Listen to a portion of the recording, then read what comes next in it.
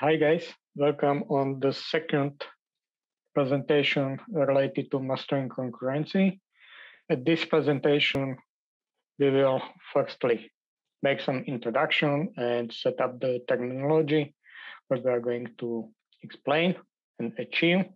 Uh, what are main goals of shared object and synchronization will be following uh, as next. And after that, I will explain some uh, mutual exclusion. Uh, what is it about by using one very famous fable. After that, uh, we can briefly mention some communication types in concurrent system and uh, rise up basic problems where you can apply your knowledge uh, of deeper knowledge of mutual exclusion. And after that, uh, I will explain Amdahl law is very interesting when you want measure the performance of your solution. Okay? So stay tuned. Also, there's important thing that Amdahl's law is also very usable if we are building a house. So in real life. After that, you can you can ask me uh, your questions. So let's start terminology. Yeah, as we all know, uh, it is wide area when we are speaking uh, about uh, architecture. I mean, the, uh, from hardware point of view, but that is not our point. Yeah, we know that uh, exists some special uh, architecture that are mainly focused to boost or speed up the parallel processing and so on. Are countless of different architecture, but let's keep that topic to professionals, hardware professionals, we will focus mainly from the implementation point of view. And for this purpose, let's assume that uh, multiprocessor, I mean, by multiprocessors, I mean that you have the standard CPU with uh, some multi-cores, some cores, and uh, they are communicated uh, via shared memory. Okay? So keep it low profile and also here is uh, very useful to understand that uh, this uh, parallel programming is uh, super difficult. So it is complementary approach that it is not enough if you are only good in practice. There is very needed and beneficial, or I can say must have to know also principles behind yeah, to create well working solution and to achieve the goals. Yeah. It's a very difficult topic. So let's start with the first topic uh, about shared object and synchronization. For example, we have a use case that we have to find all prime numbers starting from 1, 2, 3, 4, and so on uh, till 10 on 10.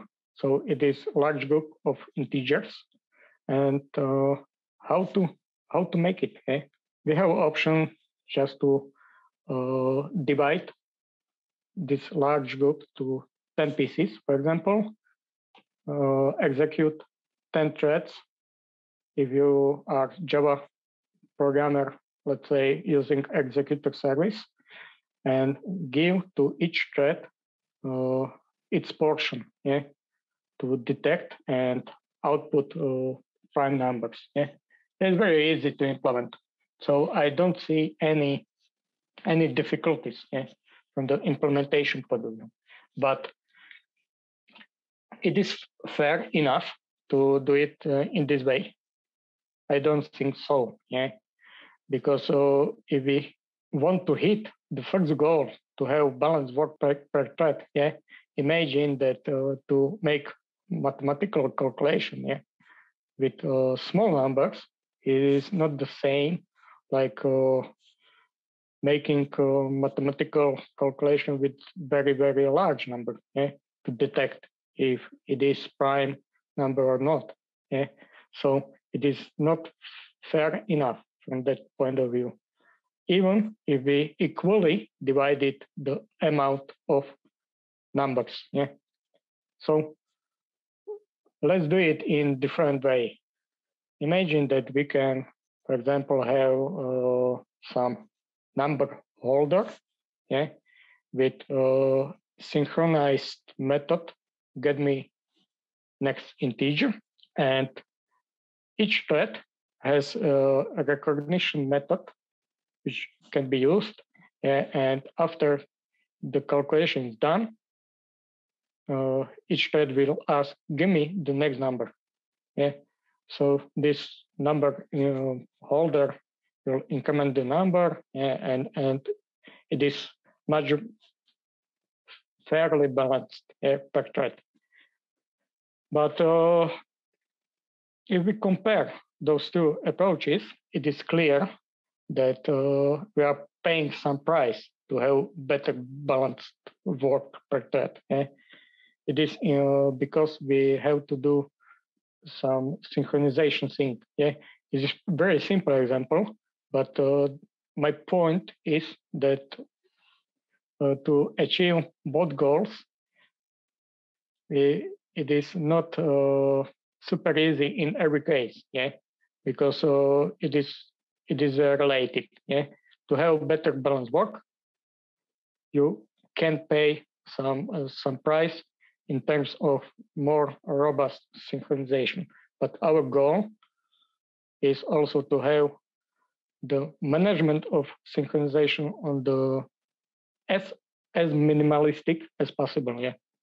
So it is also a complementary approach what we want to achieve. But bear in mind what I have said that uh, you can price, you can pay some trade-off. Yeah? Okay, uh, this is our goal, which we have to keep in our mind. And here's the main part of my presentation, and it is about mutual exclusion.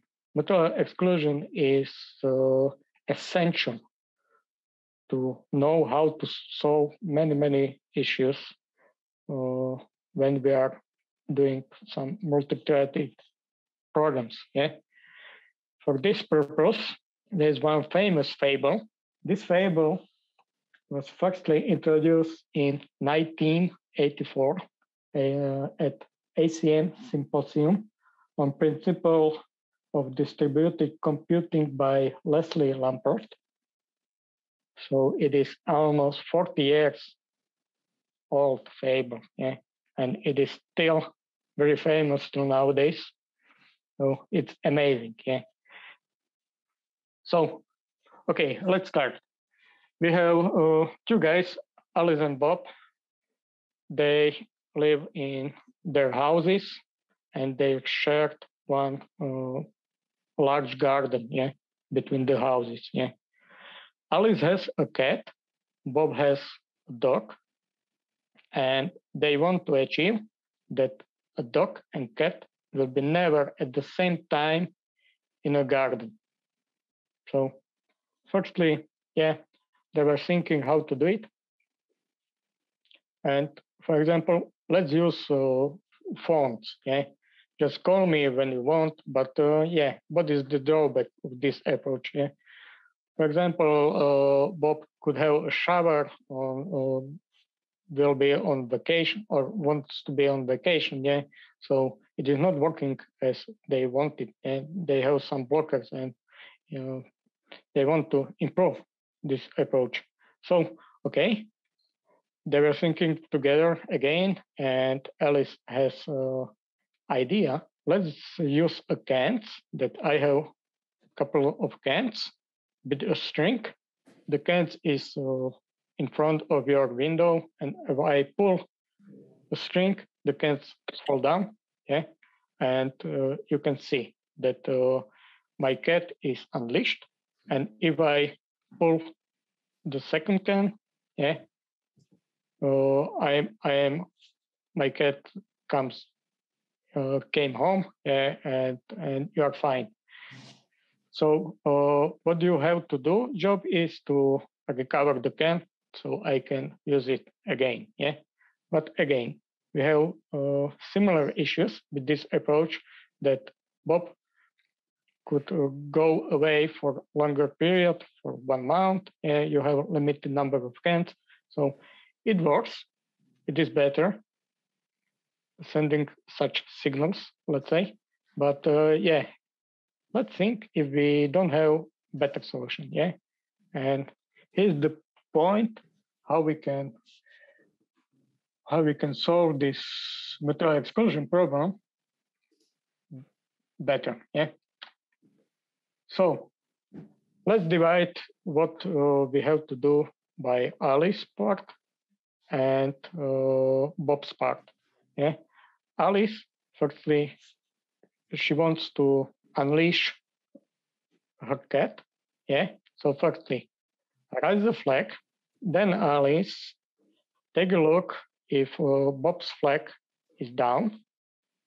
And if it is, yeah, you are free to release a pet, yeah, the cat, yeah. So that is what uh, Alice has to do, yeah. It is super simple, yeah, at this moment. But uh, here we go with Bob's part. And for Bob, it is more complicated. Eh? Bob wants to unleash his dog. So firstly, raise the flag, then take a look if Alice flag is raised or not, and consider if it is raised, then Bob has to lower his flag, wait until Alice flag is lowered.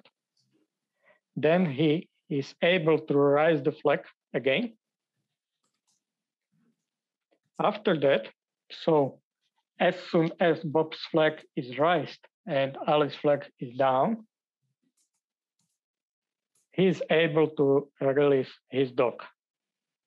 So if we compare those two approaches, is both of them are simple, but you can see that uh, Bob's Bob's steps are more complex. Yeah, that is uh, basically I have described very simple communication protocol. Yeah?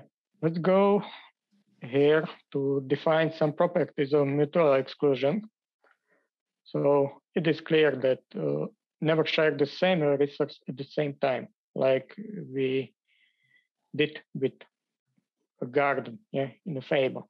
And back to the IT, it means that one thread at the time can execute a particular block of code.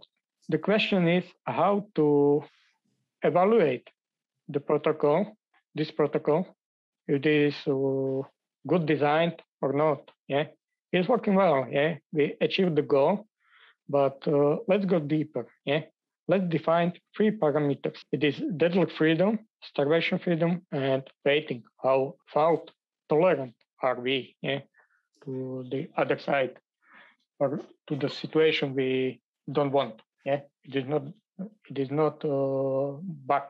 Yeah, fault tolerance. So let's uh, go to the to our protocol again. And my question is how how fine we are with deadlock freedom. Yeah, I, I can say, yeah, we are fine. We, are good. Yeah, because of this part of Bob's part. Yeah, if they both rise a flag at the same time, yeah, Bob knows what to do. Yeah, he has to lower his uh, the flag, wait until Alice flag is lowered. So there is some. Uh, uh, so this parameter, deadlock freedom, is covered well. Yeah. They they know what to do. Yeah let's take a look on starvation freedom. Yeah, imagine that using this protocol yeah, in garden, you can have a food for your pet. Yeah. So how good are our protocol? How good is our protocol from that point of view? Starvation freedom. Maybe it is clear that uh, Alice, Alice cat has a preference. Yeah, because if we if they both rises the flag at the same time. So they both want to go to the garden at the same time. Yeah, uh, Bob has to wait. So his pet uh, has to wait. Yeah. So it uh, if it happens, for, for instance, 10 times in a row, yeah, you can imagine that uh, with this parameter, we are not so so in, in good shape. Yeah. And also let's consider the waiting or fault tolerance, how tolerant we are to the to the opposite side. Yeah. So uh, yeah, they are also not so so well with this parameter because you can see that uh, the Bob has to wait until Alice cat is uh, back home. Yeah. Also, it is here hidden. Yeah, but if uh, if uh, Bob flag is up, yeah, Alice also has to wait, yeah, to to be able to release a pet, yeah. So we have to wait, yeah, in this case. So what does it mean? Yeah, these parameters, uh, please don't understand that they are binary. Yeah, the question is how how much freedom my protocol allows me. Yeah. How much deadlock freedom, how much starvation, yeah, and, and waiting. Those parameters are to help you to understand the the quality of your uh, protocol uh, for your use case. Yeah. So you can mix it as it is beneficial to fulfill the goals. Yeah. Also, keep in mind what I what we have said in the beginning of the presentation that uh, you have to mix those parameters with the goals to keep the synchronization as minimalistic as you can and to balance the equally the work among the threads yeah is important. So is something like art that you have to combine more things together to to have a good way yeah. And it is hard to say what is uh, or it is impossible to say what is only good way to follow because you have to mix it and and it depends on on your use case. So about the communication types, very briefly, in concurrent system, we distinguish the transient and persistent type. Uh, transient requires participation at the same time. Uh, you can imagine that uh, using our fable, that, that uh, the phone calls yeah, is participation at the same time. Yeah. But for mutual exclusion related program, problems, uh, it uh, requires persistent communication type. Yeah. So you can participate at different times. You know more about mutual exclusion from the point of or from the look of computer science. Yeah.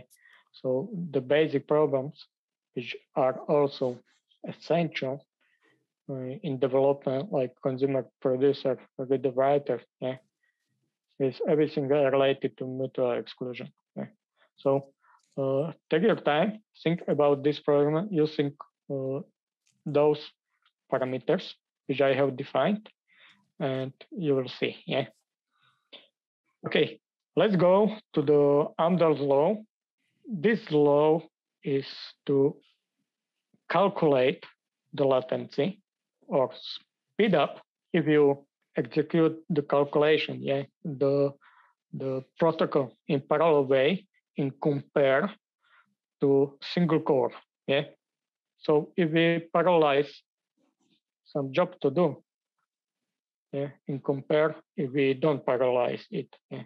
So uh, you can see the formula on the screen, and the P is fraction of the job become parallelized and and n is number of cores we we can use, or in other words, number of threads. Yeah.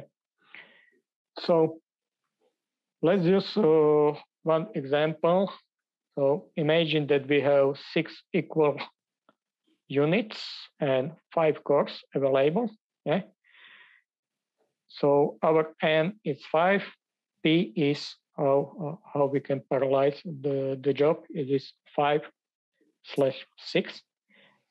So in real life, imagine that we have six identical rooms and we have five painters. Yeah. So if we put those numbers to the formula, we can calculate that our S is equal to three. Yeah. So paint six rooms using five painters, we get three times performance boost in compared to one painter. Also, in other words, uh, if one painter does the job in three hours, five painters do the job in one hour. Yeah.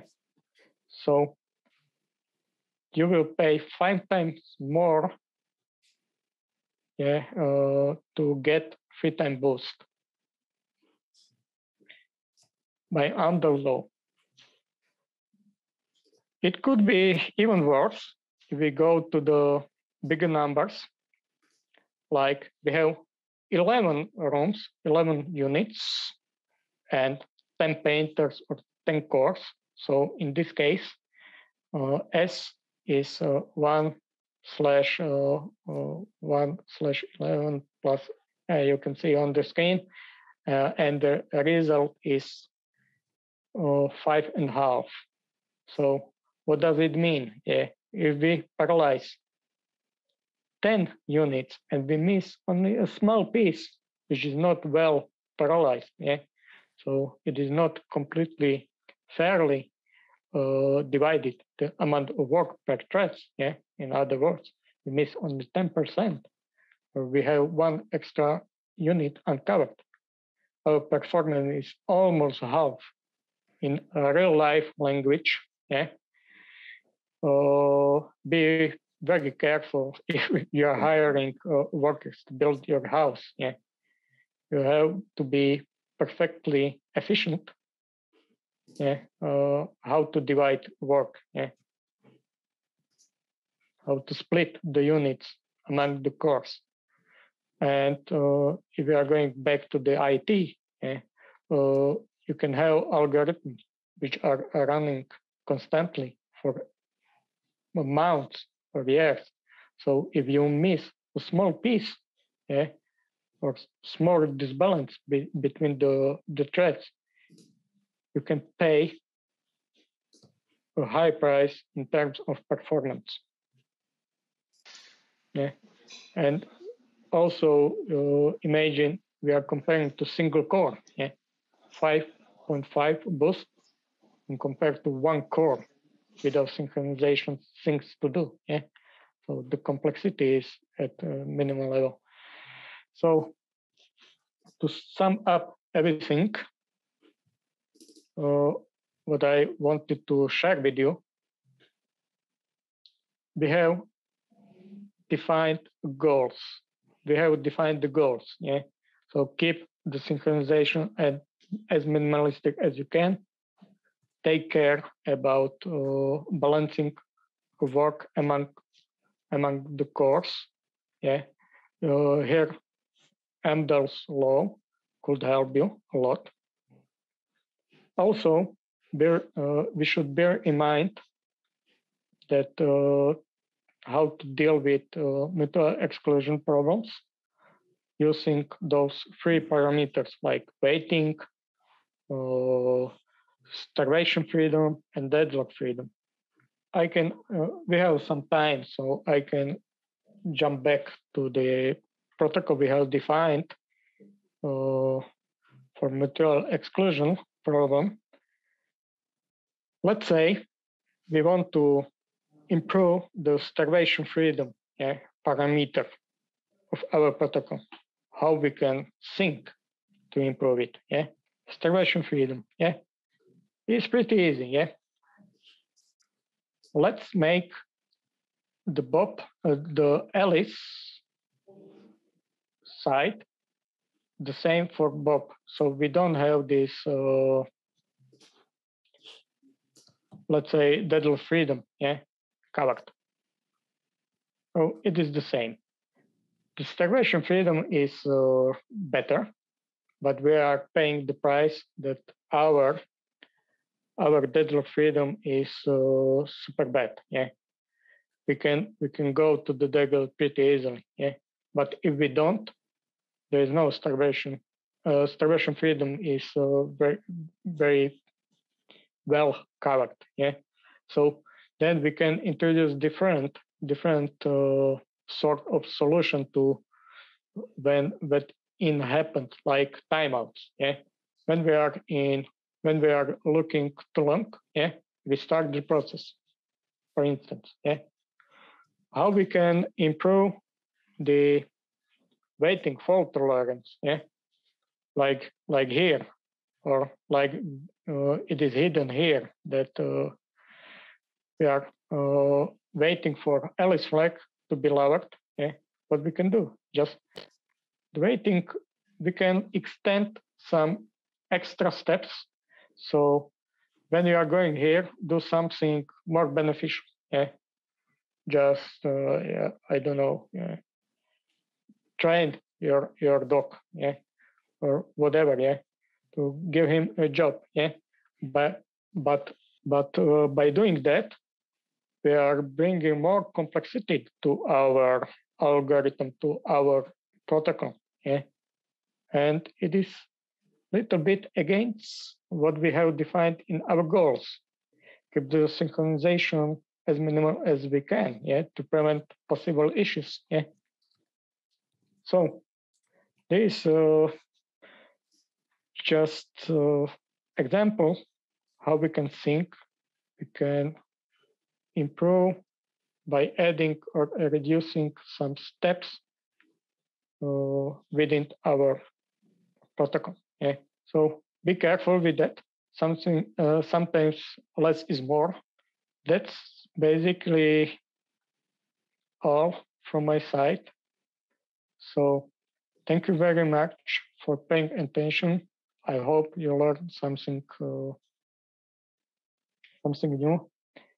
Okay, guys, uh, this was for presentation need. If you have any questions, feel free to ask me. So thanks, Vlado. It was cool. Yeah. And I would like to ask about this um, Amdahl's law. Like, what does it like say? Does it mean that you shouldn't paralyze too off, like too much, or you should balance these units and cores? Both of them. Yeah. It is. Not okay. It is. Uh, many times it is easier not to balance, uh, not to paralyze too much, because if you are going to higher numbers yeah, in terms of units and cores, details could cause you a lot, yeah, and it is not beneficial to to have such such troubles, yeah, or such pay high price for that, yeah. So uh, I I can recommend that if you don't need and it is not your goal to be super in performance, don't do it. Yeah, it is, it is easy to make a mistake. Yeah, and if we want or if it is needed to parallelize the calculation in your program, yeah, try to start with uh, low numbers, of course, and try to balance as much as you can the amount of work per thread. Yeah, that is that is safer path to go. Yeah. So it is it is not true if I have uh, 100 cores, for example, yeah, available, that I am superguru uh, because it it will be extremely hard, yeah, to use full potential of your 100 cores, and you can pay uh, big money for it. Yeah that is the idea behind. Yeah. So let's start with minimal cores, you need yeah, and make it efficient. And if you are going higher and higher, it will be much more in terms of difficulty yeah, to to achieve the goal. Yeah. And does this apply also if there are like no shared resources? I think I think then you can run it or like be still still be like cautious. I think it's more applied to these like mutual exclusion problems and stuff like that, right? Yeah, yeah, exactly. Yeah. If you can, uh, for example, it is not issue uh, if you have a strict or you can slice the data to to the same amount. Yeah? It's not issue to execute some separated threads yeah, to do the job. Yeah, but uh, if you if it is more complex, and uh, in reality, it is uh, more often uh, complicated. Yeah, like I explained in the first example, just with uh, the integer numbers. Yeah, that it is not about only about the amount of pieces in your groups of data, but it is also about what kind of data is in the group. Yeah. So that is everything you you have to evaluate yeah, when you are going to use this parallel approach. Yeah. Thanks. You are welcome. Okay. Great. Uh, if you have uh, at your mind any other questions, feel free to ping me, or uh, we can we can go back and, and, discuss some topics. Yeah, so no problem. So I wish you to have a great day and see you soon. So thank you very much again. Thank you, Rado. Good stuff. Thanks, Rado. Thank you. Bye bye.